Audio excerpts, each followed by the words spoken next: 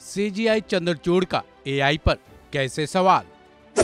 AI को लेकर कैसी चुनौती की बात कही? गलत डेटा और किस भेदभाव की बात कही? आर्टिफिशियल इंटेलिजेंस यानी एआई दुनिया का हर काम संभव कर देने वाला मान लिया गया है, जिसका कई उदाहरण सामने भी आया है। हालाँकि सुप्रीम कोर्ट के सीजीआई डीवाई चंद्रचूड़ टेक्नोलॉजी के काफ़ी बड़े समर्थक हैं। सीजीआई बनने के बाद से उन्होंने इसको बखूबी अपनाया है। लेकिन सीजीआई चंद्रचूड़ ने एआई पर सवाल उठाए हैं। हालाँकि एआई पर पहले से ही कई सवाल उठाए जा रहे हैं, लेकिन आर्टिफिशियल इंटेलिजेंस को लेकर सीजीआई ने दो महत्वपूर्ण सवाल उठाए हैं। वो बेहद अहम माने जा रहे हैं, जिसका ज़िक्र उन्होंने एक सभा में किया। दरअसल, Supreme Court of India, Bharat और सिंगापुर के सर्वोच्च अदालतों के बीच टेक्नोलॉजी और कम्युनिकेशन को लेकर दो दिवसीय सम्मेलन का आयोजन कर रहा है। इसी सम्मेलन में कोर्ट में आर्टिफिशियल इंटेलिजेंस यानी एआई की परिवर्तनकारी भूमिका पर ध्यान केंद्रित किया गया। इस सम्मेलन में सुप्रीम कोर्ट ऑफ़ इंडिया के सी सीजीआई डीवाई चंद्रचूड़ ने स्पीच दिया, जिसमें उन्होंने कहा कि एआई के दौर में डायरेक्ट डिस्क्रिमिनेशन यानी भेदभाव दो खास चरणों में सामने आ सकता है। इसका पहला चरण है ट्रेनिंग और दूसरा चरण है डेटा प्रोसेसिंग। सीजीआई ने कहा कि ट्रेनिंग के दौरान एआई या तो अधूरा या फिर गलत डेटा पक्षपाती रिज़ल्ट दे सकते हैं। वहीं डेटा प्रोसेसिंग के दौरान भेदभाव होना भी संभव है। चलिए जानते हैं सीजीआई चंद्रचूड़ ने एआई के बारे में इस सम्मेलन में और भी किन किन बातों से लोगों को अवगत कराया।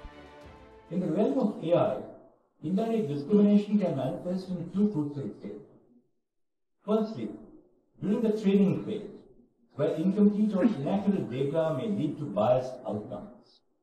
Secondly, discrimination may occur during data processing, often within opaque black box algorithms that obscure the decision-making process from human developers.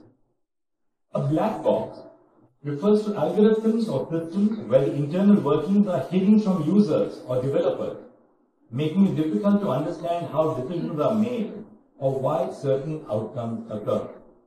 A classic example of this, in the case of automated hiring systems, arises where algorithms may inadvertently favor certain demographics over others without developers truly fully understanding how or why these biases are being perpetuated.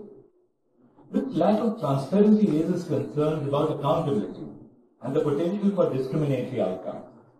The European Commission's proposal for EU regulation of AI highlights the risk associated with AI in judicial settings, categorizing certain algorithms as high risk due to their black box nature.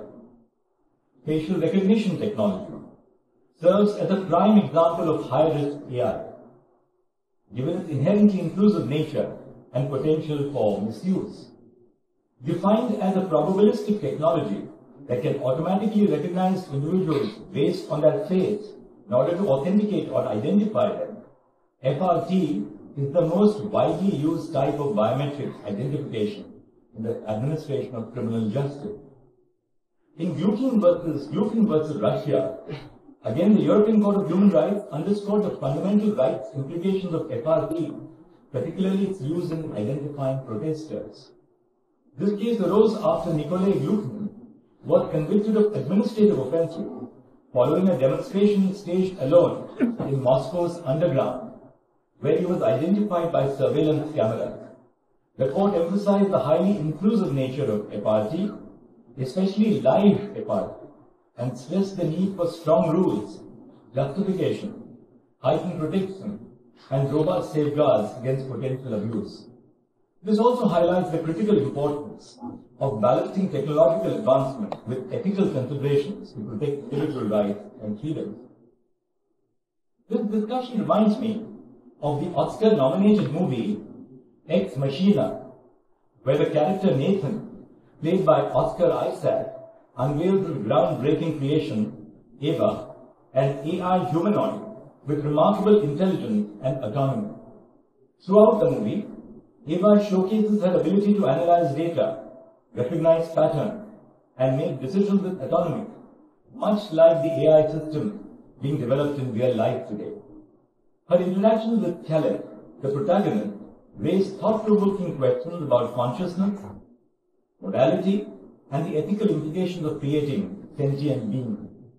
Ex Machina offers a compelling exploration of the intersection between humanity and artificial intelligence, raising important questions about the nature of consciousness, the ethics of AI development, and the implications of creating sentient beings. Ex Machina offers a compelling exploration of the intersection between humanity and artificial intelligence, serving as a cautionary tale and thought-provoking reflection on the ethical and existential challenges that lie ahead in AI development. In the final part, in a few moments, let me dwell on the necessity of capacity building and training in AI to ensure ethical and effective utilization. The full realization of AI's potential hinges on global collaboration and cooperation.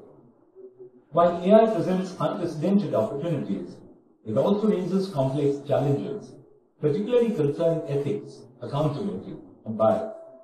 Addressing these challenges requires a concerted effort from stakeholders worldwide, transcending geographical and institutional boundaries, which is the reason for this conference, so, so thoughtfully brought together by the Singapore Judiciary, or my own team, ably led by Justice Rajiv Thakkar. Addressing these challenges would require all of us to team together as one global community. Capacity building and training play a crucial role in ensuring the ethical and effective utilization of AI technology. By investing in education and training programs, we can equip professionals with the knowledge and skills needed to navigate the complexities of AI, identify biases, and uphold ethical standards in the use of AI systems. Capacity building initiatives can foster a culture of responsible innovation, where stakeholders prioritize the ethical implications of AI devel- development and deployment. The recent proposal for a regulation on artificial intelligence by the Council of Europe underscores the importance of human-centric AI governance. The proposed regulation aims to establish harmonized rules that ensure AI technologies are used in a manner that is safe, compliant with the law, and respects fundamental rights.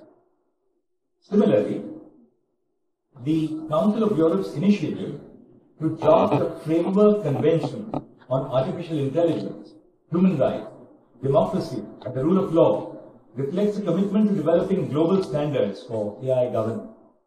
As the Council of Europe publishes the second draft of the convention, it calls on all states that uphold the values of human rights, democracy, and the rule of law to join efforts in developing a set of shared basic principles applicable to the design, development, and application of AI.